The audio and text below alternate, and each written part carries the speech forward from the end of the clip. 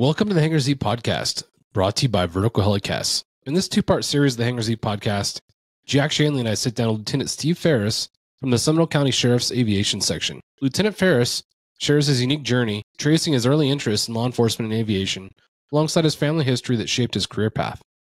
Lieutenant Farris discusses his progression from patrol officer to helicopter pilot, and eventually earning the title of chief pilot, as he highlights critical moments that influenced his ambition and guided his leadership strategies within the aviation section. We examine the growth of Seminole County and the unique challenges of living in an area with a significant alligator population.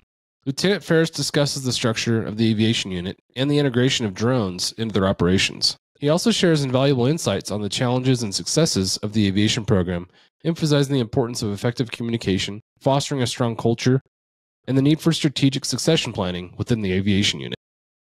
We also get an opportunity to discuss aircraft replacement cycles and the financial justifications behind them.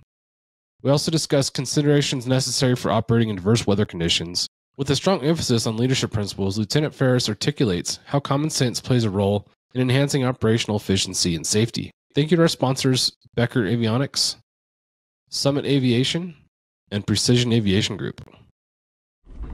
Welcome to the Hangar Z podcast, brought to you by Vertical Helicasts. The Hangar Z podcast is the first and only podcast dedicated to promoting and exploring the personnel and equipment behind the missions in public safety aviation. Join your host, Jon Gray, Jeff Ratkovich, and Jack Schonely. Still southbound, skidding to a stop. Down by here. Looks like they're getting ready to bail. Heads up, guys, bailing. Okay, the guy, he's running through the house, jumping the fence, through the shotgun, threw something out grabbing the shotgun. Don't go over that fence. Don't go over that fence. Grab the shotgun again. He is armed. Stay there. Hold your position. Four on the stop. You're in custody. Good advising code four on the stop. Hey, welcome to Hangar Z podcast. I'm your host, Jon Gray. I have an awesome uh, conversation in store for today. Conversation that we've been trying to get uh, lined up and, and kicked off for quite a while.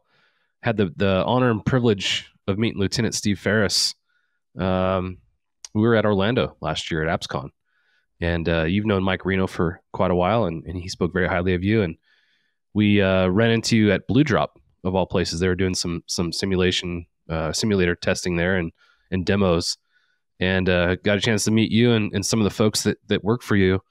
It's it's an honor to have you on the podcast. So thank you for joining us, sir. Well, thank you, Jon. It's an honor to be here. Been looking forward yeah. to this. Yeah.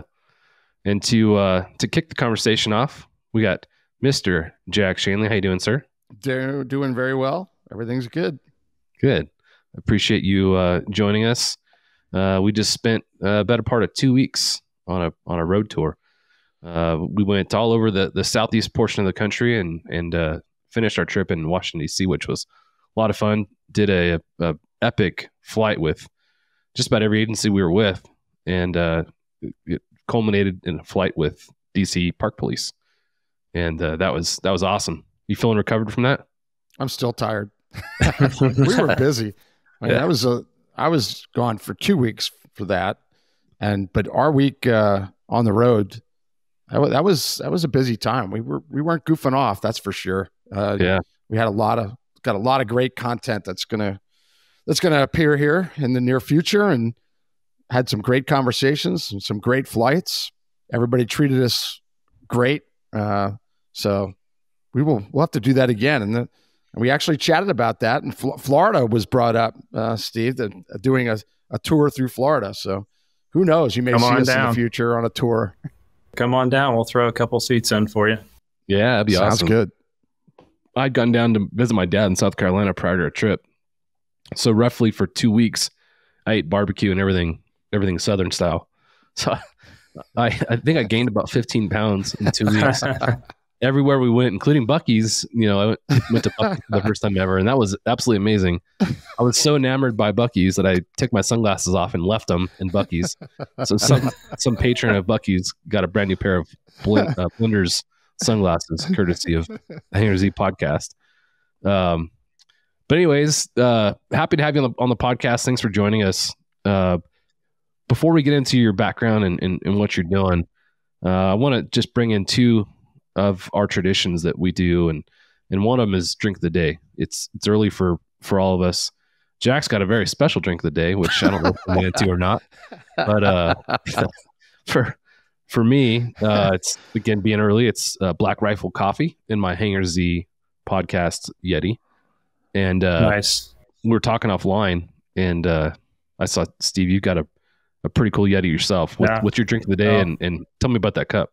I'm over here double fisting. I've got my Yeti that my team got me one year for my birthday, and I was like, "Wow, I must be doing good. I got a birthday gift. What? I wonder what I'll get next year." Nothing. Uh, I got a couple Yeah, of birthday comments on Facebook. That's but I weaned off this stuff because I know it's terrible for you, and I keep reading even more and more. But I had to drink like a quarter or half of it just to be entertaining for you guys. Make sure I talkative. Don't get quiet on you. Get stay extroverted. those those Yeti cups, man, they make a great gift. Um, Mhm. It's a it's cool swag for your unit to promote your unit for the ones that can Absolutely. that you know afford to to buy those and and sell those through their unit fund. Um, Yeti just makes some great products. So that's another company we're not sponsored by, and if if they want to Yeah. hop on and join us, more than welcome Hope I to. can help you get sponsored. The Jack, what's uh what's drink of the day for you today? There's there's no drink of the day. I have to uh, have nothing for four hours prior prior to a procedure that that we all know and love. And uh, Okay. so I drank a gallon of something else in the past 24 hours.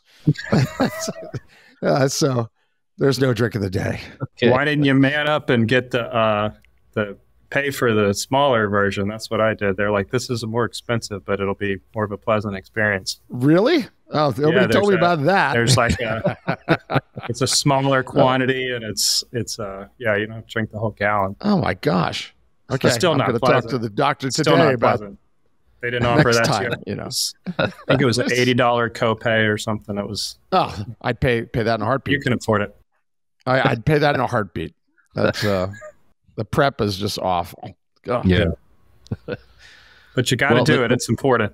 That's right. Yeah. It is important, Yep. and I know that, and uh, so it is what it is. I'll, I'll deal with it. the the next part is the hot seat and uh again just in the interest of time we're going to do one question and i selected this question not realizing that uh there was a fast uh, fasting period that, that jack had to go through. This might be this might be a little a little torturous for jack. Uh huh.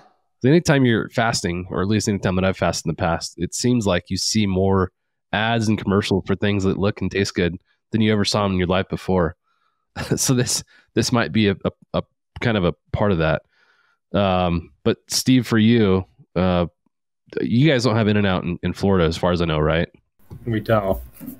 So in and out um is my favorite burger joint. There's always a, a competition people talk about and there's pretty spirited conversations about five guys versus in and out versus you know white castle or the other places that people like. Um, but i like in and out because you can customize your stuff however you want. So you can Mhm. order your fries extra well done well done uh, extra salt no salt however you want. But i feel like uh, this question there, there's it's very divisive. Uh, so the question is would you rather eat fries fries with no salt or have to eat over salted fries? Ooh. Is that for me? yep. I would say uh, no salt. okay. Man i, I feel like those are both torturous things. The no salt it, i mean it's just a wet noodle almost you know? But the over salt you can't like you can't taste anything but salt and it's almost repulsive. So i don't know which one of those two is better um again sorry to, to plague you with this jack but what would your answer to that be A food question, Jon. A food question. Last, it's been let's see, Saturday night at eighteen hundred hours since I had solid food. So anyway, Jon, I would say even better even better fri- no salt, no salt. Absolutely, I'm not a salt guy. okay do you get it with no salt just in general I, I don't. I just order them up the way they Oh. are, and I don't mind that. But if I had to choose between a lot of salt or no salt, I'll take no salt all day. okay Yeah. all right well that answers that that was pretty painless That was- I thought there Thanks a was gonna lot. Painless. Yeah. Thanks. Whatever. Thanks for going easy on me for my first time. there's going to be a lot of a lot of uh, jokes pointed at, at Jack today. Oh yeah, that's okay. conversation. That's okay. Uh, well, again, thank you for joining us. Um, you guys have a, an awesome program. Uh, Seminole County, can you, before we get, get into the conversation, can you just tell our listeners where Seminole County is and, and kind of a little bit about Seminole County? Sure. We're in Central Florida. We're just north of downtown Orlando, and um, we're about 345 square miles with a over 400,000 population. We're the 13th most populated county in the state. We're about 10% water, but mostly, you know, densely populated neighborhoods and and some rural areas as well hiking hiking trails, rivers, lots of alligators. We have the most populated. We have just south of the airport here, Lake Jesup. Last I heard, it used to be fifteen thousand, but they started allowing harvesting, so I think we're down to ten thousand alligators in that lake. Holy cow. No, So no thanks. some of my pilots will only fly over the bridge, going across the lake. They won't go through the middle of it Yeah. yeah. for No, no. obvious reasons. Yeah. we have a friend and of the don't like podcast. We have a friend that does not like alligators. Brian Smith does not Brian like Smith. alligators. He used to fly over that lake. He knows all about it. He does. worked. I think I've even talked about that lake with him. Yeah. You know, I think most of us have a survival kit that's that's in the aircraft in case of a you know unplanned landing. And I mm-hmm. so what does a survival kit look like for you guys having ten thousand alligators in your area? right? a big crocodile Dundee knife. That's nice. Gotta have that. we always and carry, they carry a our- live chicken. Yes. Carry a live chicken in the helicopter. So if you, if you end up in the water, you throw the live chicken out to the alligator.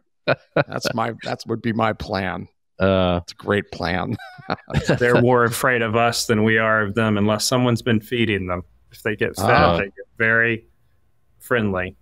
There And goes my Yeah. that's, theory. that's when they get dangerous. But yeah, Oh, usually they're they run away. They go underwater. They don't want to be anywhere near you. when uh, APSCON was in New Orleans, uh, my wife and I went down and did a gator tour down in the bayou, and the bayou is really cool. But you know, that was the first time I'd ever seen an alligator up up up close, and you know, the the tours say they don't feed them, but then you see the the alligators start swimming directly for the boats. They're like, "There's no way you're not feeding those things." But it was really cool to see them, and again, the the bayous are beautiful. At one point, they they pulled up a baby, a little baby, and let everybody hold it. I'm like Mhm. that. That was pretty neat. You know, I don't know if that's ethical or not, but it's, it's pretty neat. The, the older they get, the more you know brave they get as well. So you'll there's some pretty big ones out there on Lake Jesup, but there's an island in the middle called Bird Island, and boy, you'll see some that are like prehistoric looking out there. Wow. And I don't think they budge for much. They just kind of sit there and look at you. And uh, Yeah, no thanks. thanks. Uh, for for the county you're you're part of, have you seen a lot of growth as far as the residential population over the last 15, 20 years? Yes, we are exploding with um, develop land developing new houses. The market is definitely, you know, we're not seeing any slowdown of building. I think the mortgage rates are slowing it a little bit down, but they're still building. And people Yeah. are still moving here to Florida, Yeah, I, I would imagine a large percentage of those new residents are from California. right? Yeah. Yeah. Yep. We're slowly moving out to everywhere but California. I Right. think I'm one of the few what I'm that's left behind. That's what I'm hearing. Well, uh, why don't you start off by letting us know where you grew up and and uh, where you went to school and how you found your way to, to law enforcement and, and aviation.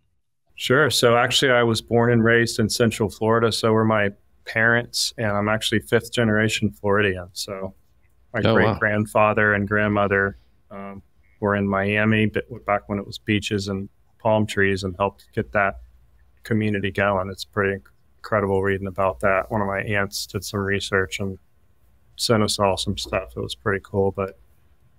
Um, so yeah, I've been in Central Florida my entire life. I've traveled around, but I do love Florida. I love the humidity and the beaches and the being in the water on my boat, water activities.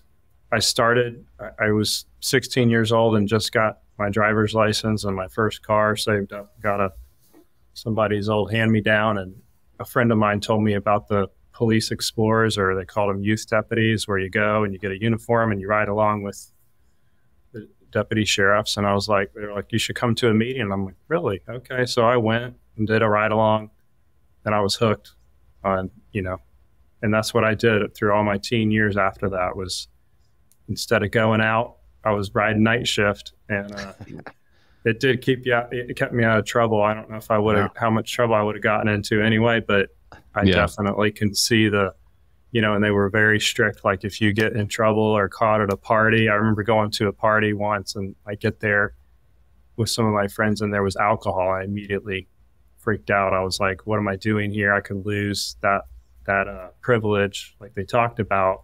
And no sooner than I got there, just showed up. I see all the Seminole sheriff cars pull up and I'm like, Oh no.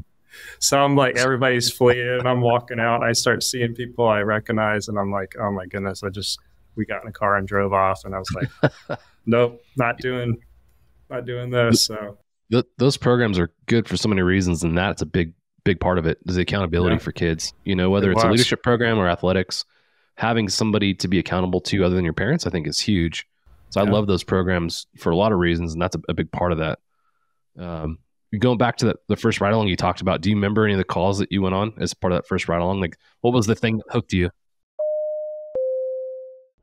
Thank you to our sponsor, Precision Aviation Group. Mission critical operators and fleet managers rely on Precision Aviation Group as a worldwide leading rotor and fixed wing MRO provider. PAG provides tip to tail solutions in four MRO segments avionics, components, engines, and manufacturing DER services. A single point of contact gives you access to over 150 million in inventory globally 24 7. Just call 800 537 2778. Precision Aviation Group. Others sell parts, we sell support. it was unbelievable, just the constant action all night long, and you know the the uh, it was just so interesting. I remember cops was big back then when I was a teenager, and it was like I was on the show. I mean, I was just riding around going, "Wow," you know. And I remember being interested in watching that show, but I never really thought about pursuing it as a career. But then after spending years of doing the ride-alongs, I got old enough to sign up for the police academy out of high school. Went to local. Uh, parents pulled me out of public school, and and uh, they didn't like the system, so I was doing private school, faith-based type stuff. And then I got old enough to get in the police academy, and I did it. Graduated just in time when I turned 19, just before you had to be 19 by the time you graduated, and uh, got on as a reserve deputy and went through field training on my, you know, no pay, free, freebie. I was about two weeks from grad, you know, graduating field training and got the call for full time employment Oh wow. That's cool. at 20 years old. So that was pretty cool. Yeah. Some of the deputies wrote letters for me and all and got on pretty young. So you had already done everything you needed to do for the most part when they when they gave you the full time call. Yeah, I was like, I already proven myself and Wow, got some great. letters of recommendations from some of the guys on the TAC team that I was riding with. We were all in action, and I was just a young. I mean, I was like maybe 135 pound, skinny young guy. They're like, you know, busting my chops, and but I would get out there. I don't know why, and just no fear, kind of doing what I needed to do. And Oh, you were 19. I was 19, 19, no fear. Yeah. no fear. Did you have family members that were in law enforcement that kind of No, motivated? you? No. I found out after I got in aviation that my great grandfather that I was very close with that died when I was 10 was an air traffic controller here at Sanford for the Navy when it was a Navy Oh, wow.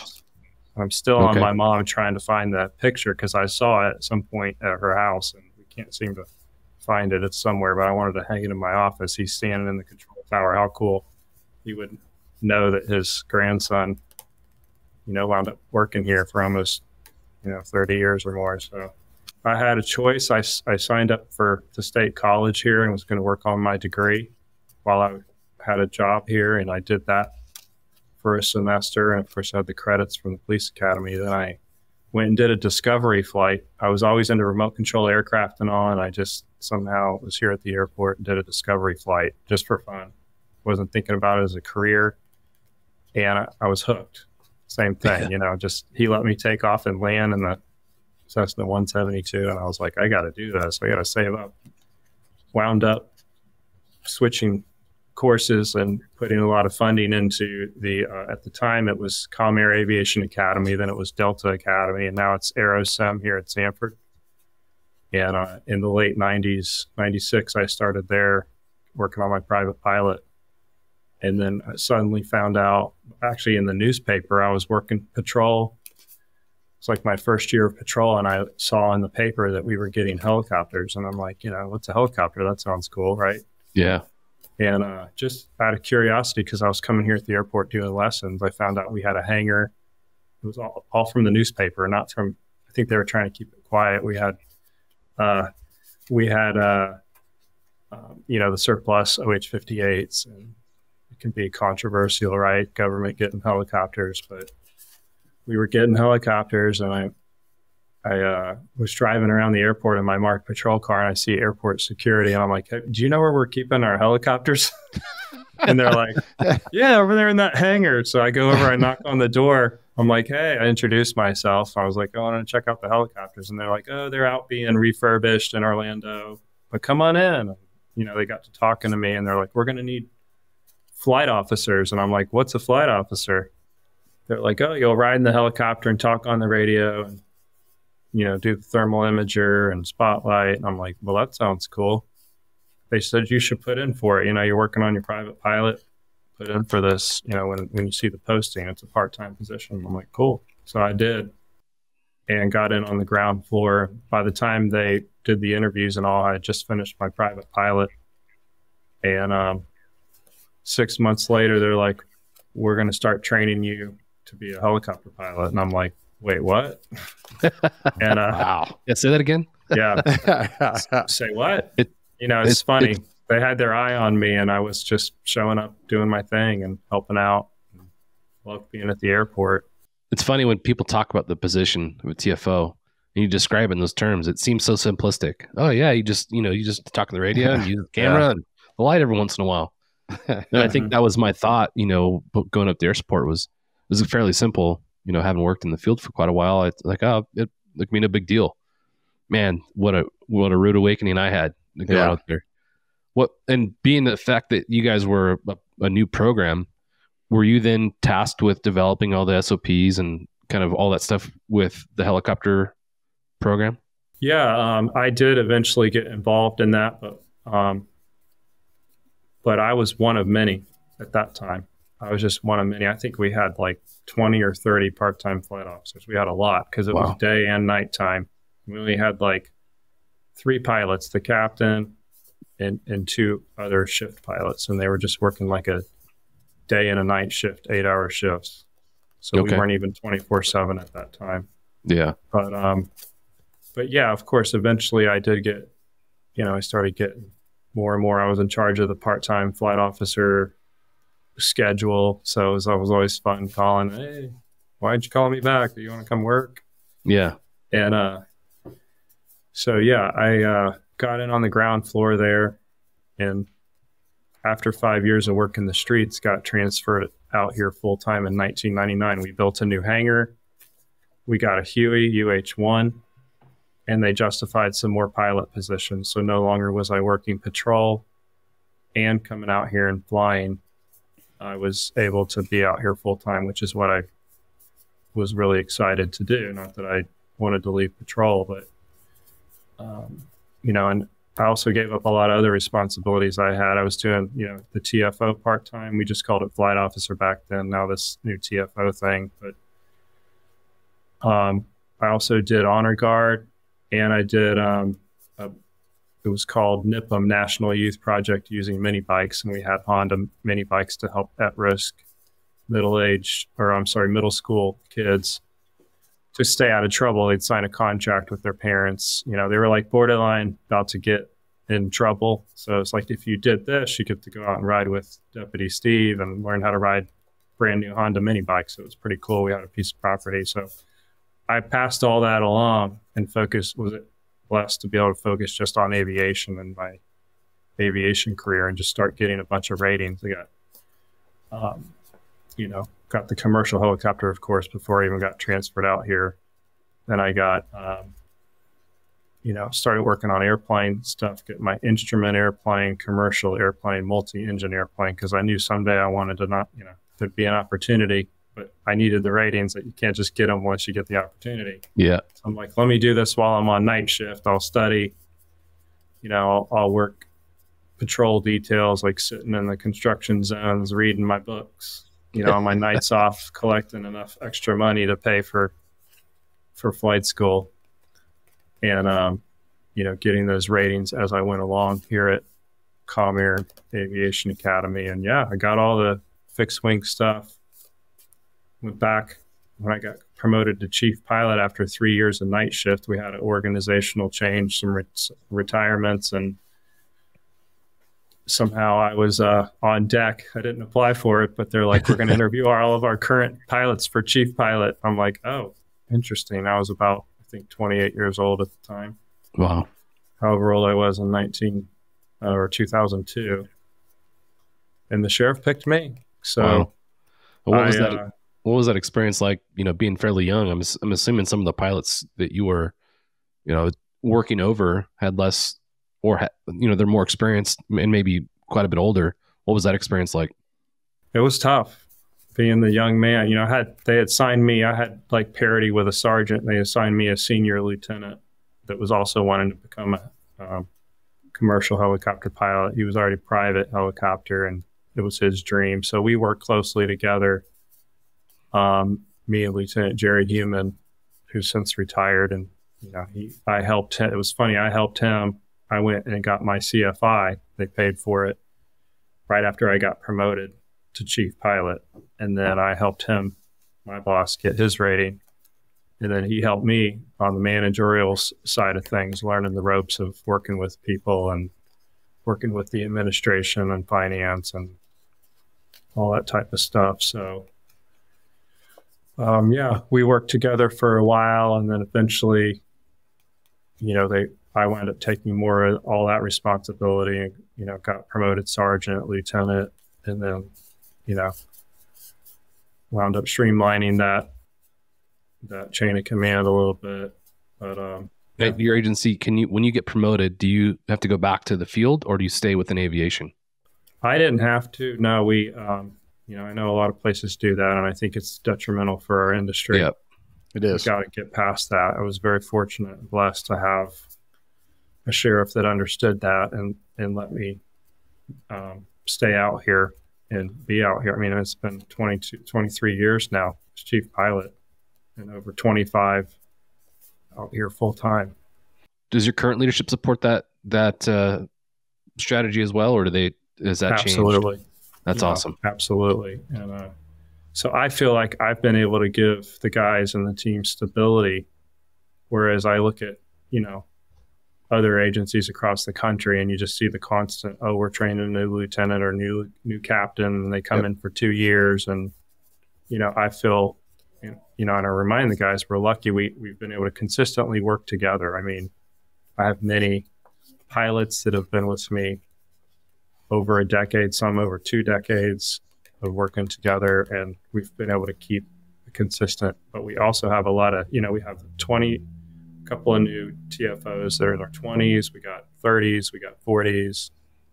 I just hit 50, and one of my um, senior pilots is about to retire at 65. So then I'll, I'm going to be the new, uh, the new old old guy telling stories. like, listen to my stories.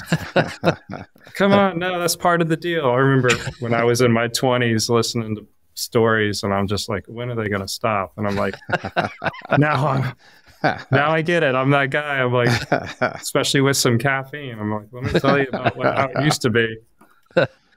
Well, you brought up something that's interesting. I, I think it's healthy is having you know a, a pool of folks that are different ages.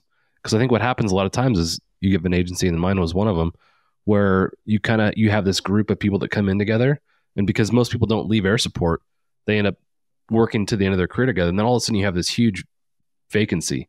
You know, you might have 3 Mhm. or four, five vacancies at one time. So you have all that experience and talent that leaves, and that leaves a big void of new folks have to come in and you know creates a young air support unit where it sounds like what you guys have done is uh, you know created a succession plan with people of different ages where you don't have this max mass exodus of pilots or TFOs at one time. Was that by design or did that just kind of happen that way?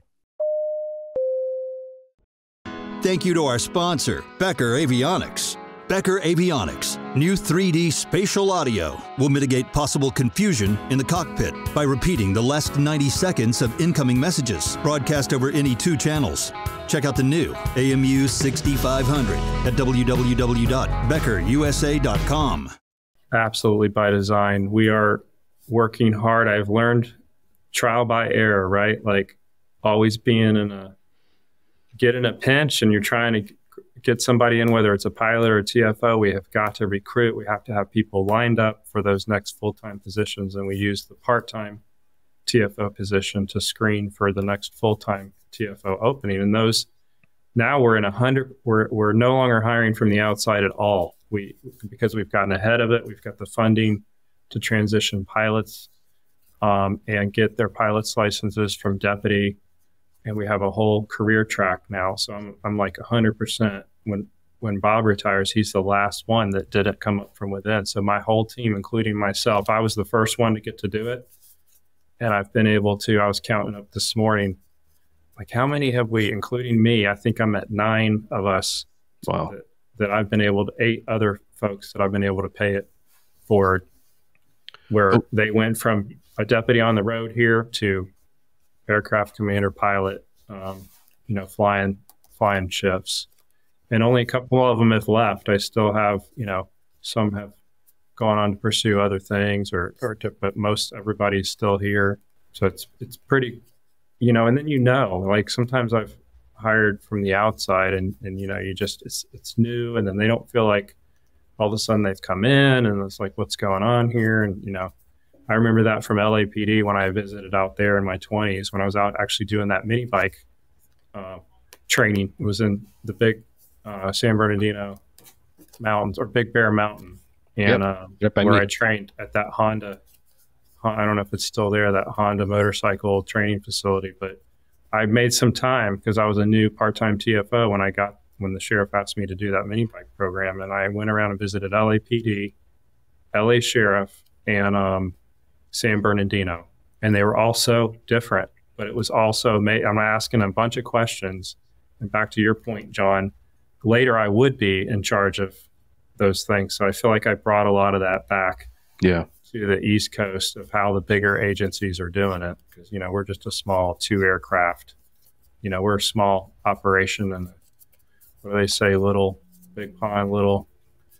What's the old saying? Little uh, pond, yeah. big fish. Yeah, that's it and uh, but you know, I, everybody I hear, it's pretty cool to go to these shows, and they're like, "Steve, we hear you guys are doing it right there. You know, you're doing it."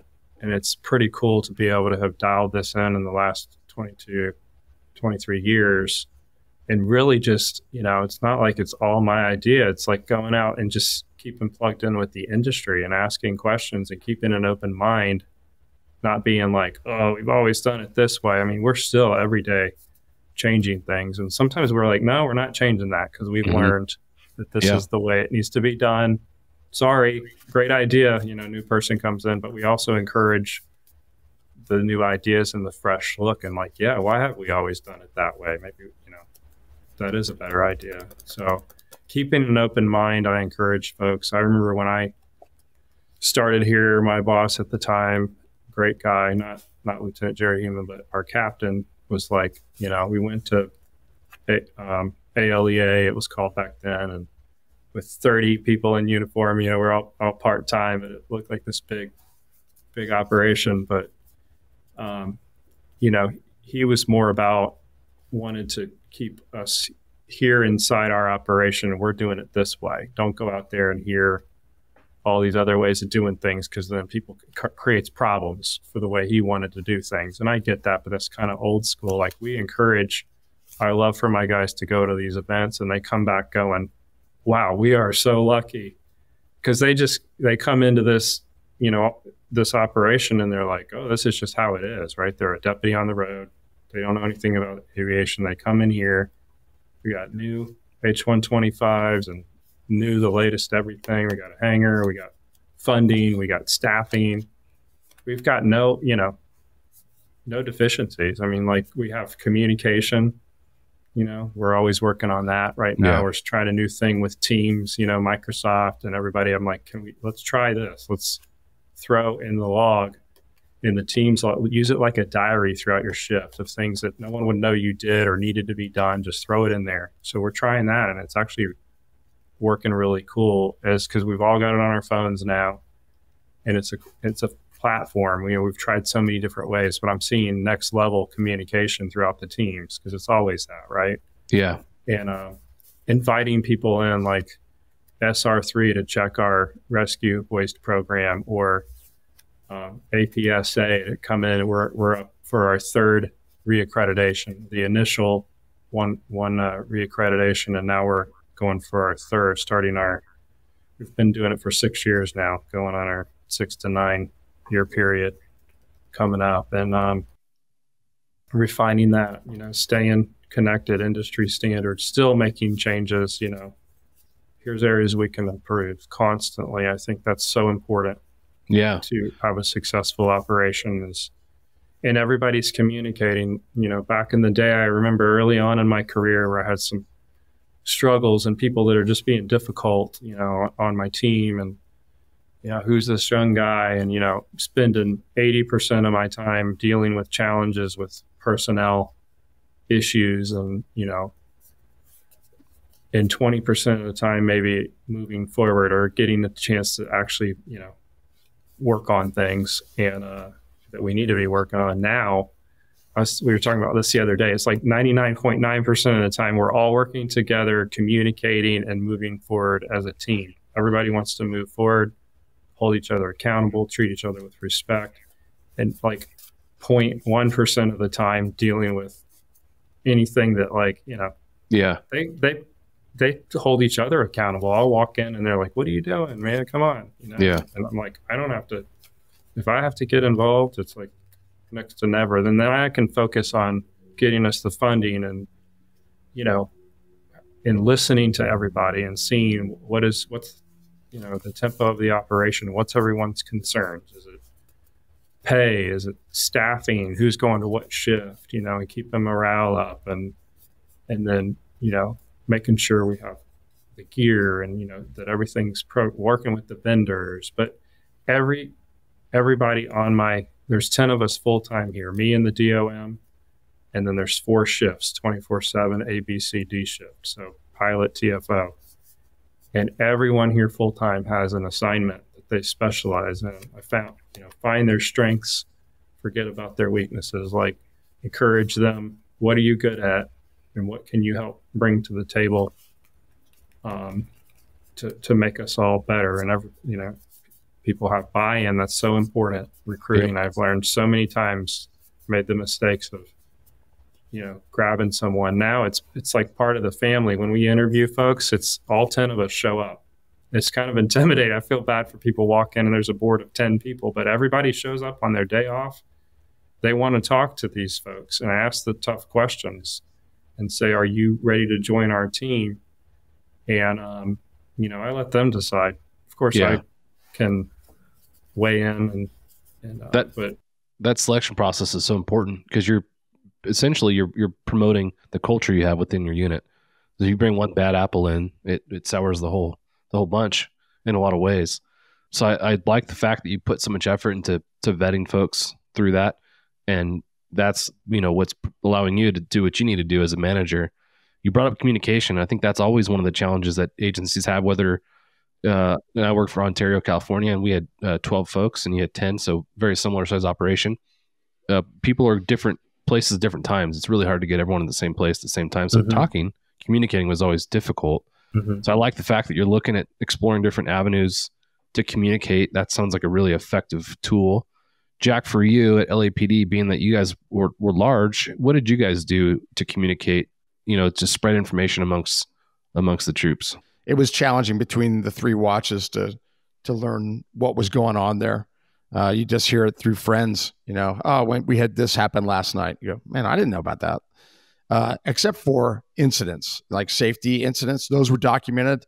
Those went to a safe to the safety review board, and uh, those were read, you know, read in every roll call. Hey, this happened to this crew on this date and time, and this is how they responded to the the chip light, to the uh, you know a horn going, wh- whatever it was. Um, so the, the communication was good in safety areas, but the day to day operation stuff, it, it wasn't great. Um, Yeah. But one thing that that's popped into my head in listening to Steve talk uh, is that the staying when you promote that really benefited your unit a lot. And obviously, we're LA was one of the units that you promote, you leave, um, and then you fight to get back. It's Mhm. ridiculous. It's ridiculous. It's ridiculous for SWAT. It's ridiculous for canine. It's ridiculous for air support, but particularly for air support because just the financials alone, having to train somebody to fly. You know, okay, uh, Jon's promoting out. He's going to make. Uh, he's making sergeant. Bye, John. And now you bring in a new sergeant or, or a new person to replace them. Um, it, economically, it was dumb, and all that information and experience leaves completely, and you start from scratch. It, it's ridiculous. I mean, we had some some really good people that uh, should have stayed when they made sergeant, and some good Mhm. sergeants that when they made lieutenant had to leave too, and they they some of them fought to get back, um, it, but it takes time and effort, and in the meantime, you lose all that Mhm. and you're training somebody new that knows nothing. I mean, they they don't know uh, a cyclic from from a collective, and now, and the person that did know all that is out on patrol someplace. You know, and the other thing is, you, we know that people stay at air support for a long time. I mean, look at Steve. look at you, Steve. Mhm. I mean, so why why would if you were a sergeant making lieutenant, why would I want to get rid of you as a, to go out to patrol, knowing that you're never going to go back to patrol? I mean, Mhm. that that year out patrol, what's that going to benefit air support later? Nothing. What's it going to benefit patrol? Not a whole lot because you're you know you're fighting to get back to air support. So I I, I really liked what I heard there, and it and everything you talked about, Steve. Uh, it seemed to pop into my head. Well, no wonder it's going well. You're keeping Mhm. people there. you're not Right. losing them when they promote. You're not, and you're making it a, a, a great workplace where they don't want to leave. You know, we Mhm. had lots of people that that would have would- have promoted if they could have stayed, and they didn't. I'm one of them. I got the talk. I can tell you, Mike Hillman came to me multiple times. When are you going to promote the sergeant? I go, Are you crazy? Why would I want to leave? Why would I want to leave a pilot job to to become a sergeant? Leave, go to patrol, and work. You know, doing projects as a sergeant, and then fight to come back, and maybe never get the opportunity to come back, depending on the timing. That's that's what I'm talking about. It just seems really, really good what you're doing there, Steve, to, in that area, and it and it goes out beyond that that initial thing. It benefits you in other ways, is what I'm getting at. Uh, I th- I'd love to hear your thoughts about that, of how it benefited you by being able to stay, and how it benefited others to to promote but not leave. Thanks to our sponsor, Summit Aviation, a full service provider for business, government, parapublic, and military aviation, specializing in maintenance, modifications, avionics, interiors, and paint. Discover more at summit aviation.com. Absolutely. I, I think we've been so fortunate to use a lot, being able to use a lot of common sense Yes, in running the aviation section here. I've been allowed to use common sense and, you know, do things that, and, and, you know, yeah, I mean, it's been incredible to, yeah, where other areas they don't allow that, you know, and, Yeah. and they've made an exception here. And, you know, it's always like, oh, aviation gets the exceptions, you know, and it's like, well, but it's kind of two huge careers. We're deputies, but we're also aviators, we're pilots yes, there's a whole other set of things that we need to and and i need to recruit solid people that are positive that are part of the solution not part of the problem And you know, so and and you gotta. I've made mistakes where I've let that go on for too long, and we don't do that anymore. We're getting so much better at screening and and uh, recruiting and getting good, talented people in here, the best of the best, to Yeah. strap into this, you know, multi-million dollar machine. And you got to trust each other. That you know, you're going to say, "Hey, this happened," or "This didn't happen," and you know, now everything's recorded and the systems are just, you know, but still, you know, you, got to communicate, and there's an incredible amount of accountability and trust amongst the crews and camaraderie that's so important.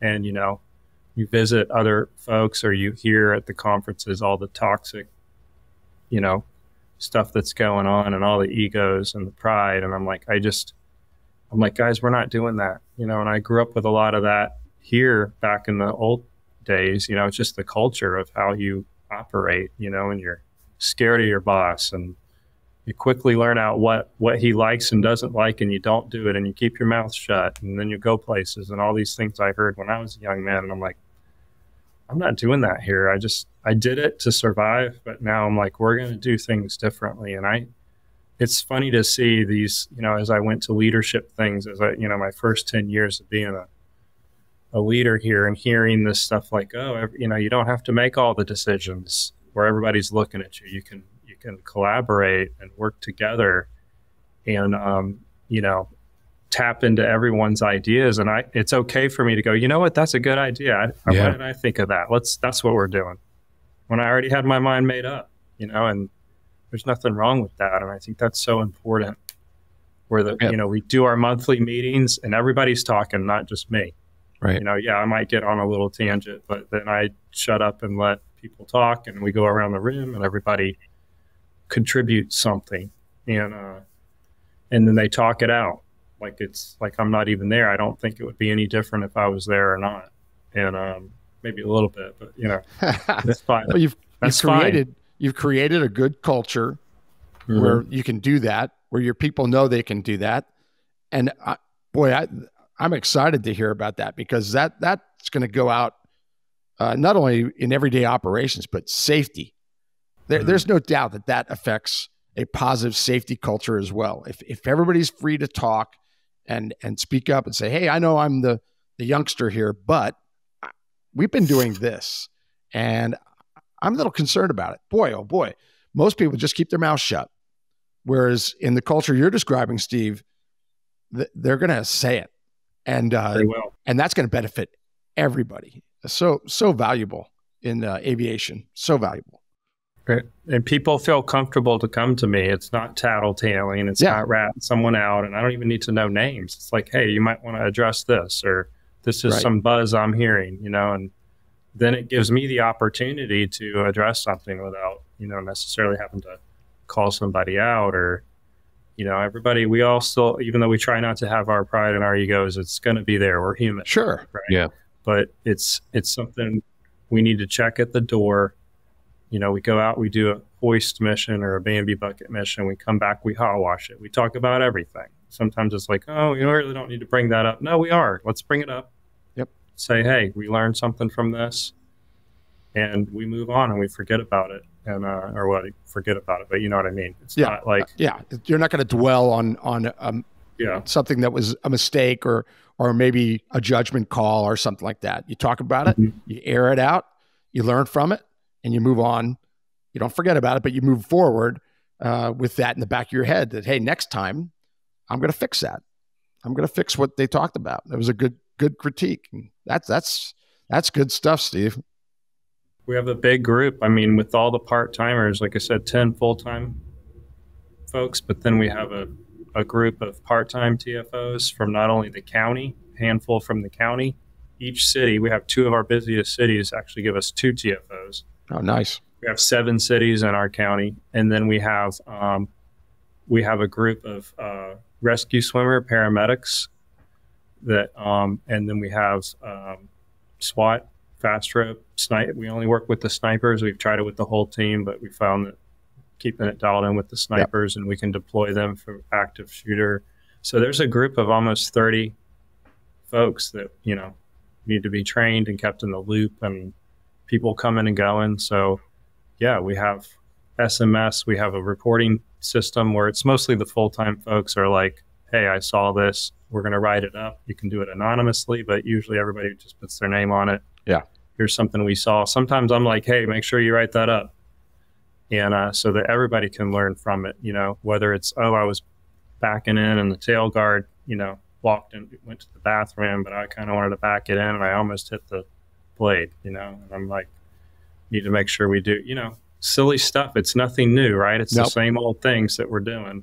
That's right. And, um, but it keeps that, you know, and I tell them we need to document this stuff. It, it's, it's not like we're trying not to have these forms. We want as many as we can every month. And we talk about them at our, we call it our full time safety board. And it's basically everybody that's here full time is on the safety board. Me, the, the uh, director of maintenance, and all eight shift uh, crew members. And we only have two now that aren't pilots, and they're going to start working. So pretty soon it's going to be all pilots. Wow. And now it's like, well, how do we get the flight time? You know, we developed our our um, pay scale based on flight time. So we're looking at that because then it's like, well, I'm not going to get to my flight time. You know, so we're always evolving and looking and making you know making sure we're moving forward with things and re-looking at things. I think it's so important and not being just like, oh, we're going to do this always this way because that's how we've always done it. I think that's what helps us succeed. Yeah, I'd like to to talk about that for a little bit about your your pay structure because I think a lot of agencies are looking for alternatives to the the promotional processes because a lot of people looking to promote or looking for the financial incentive that goes along with the promotion. But if as an as a unit, you guys have solved that problem internally with uh, encouraging folks to to meet a certain threshold for a next pay bump or next uh, Mhm. title change. What does that look like for you guys? So all my pilots now that were TFOs are topped out deputies. And so the only raise they get is if they raise the, the uh, top out. So I had to look at last year, I, I um, negotiated, if you will, or presented, you know, like, look, here's the salary surveys. This is what people are making in our industry. If we can't, you know, let them promote to sergeant as pilots, I was, you know, I'm, I'm like, fine, you know, let's have all the pilots, the primary senior pilot, if they test, promote them to sergeant, then that's a different pay scale. And they're like, well, we can't really do that at this time. So, you know, I said, well, then we need to look at raising the pilot pay because we have pilot one, two, and three based on ratings, sign offs, you know, and um, flight time currently. You know, we're looking at that. We've changed, tweaked it a few times because it's like this isn't fair. This person's going to have to do this for this amount of time, and what's more realistic. So we we can tweak it, and we've gotten support of doing that. But um, so I looked at that. I said, "This is how much pilot one, two, and three is. We need to raise. We haven't raised it at all. We've been doing this five, six years. You know, we were trying to get it raised five or ten percent, like the deputy pay was getting raised each year. So we finally got we got that raised. We presented here's the current salary surveys, and I said I recommend at least this to be with the industry, and and they did it. So everybody got. I mean, you look now we're on par with it used to be the medevac you know air ambulance pilots were always making the most and if you look at some of the salary surveys like one of the ones i used loo- looked at our industry and um, and then you saw the air ambulance pilots there too. It included the helicopter. And uh, not just like NBAA is mostly jets and um, so i looked at it and i was like wow we're right there with the air ambulance folks now, and um, and it gives them somewhat something to work towards to get more ratings, to get that Bambi bucket or hoist sign off once they get their, you know, their hours in to do that. And uh, so yeah, there's a step plan and there's there's um, opportunity, but it's not. You know, I wish we could get more where they they could promote from within, so that when I retire, there's a sergeant already that could be eligible for a lieutenant. Um, but you know, I did it as a deputy for many years, where I I didn't get promoted. Then I started testing. I was getting support that they would promote me in place. They encouraged me to test, so I did, and um, I think that helps. You know, I look back and everybody was like, "Well, you know, he's the deputy chief pilot."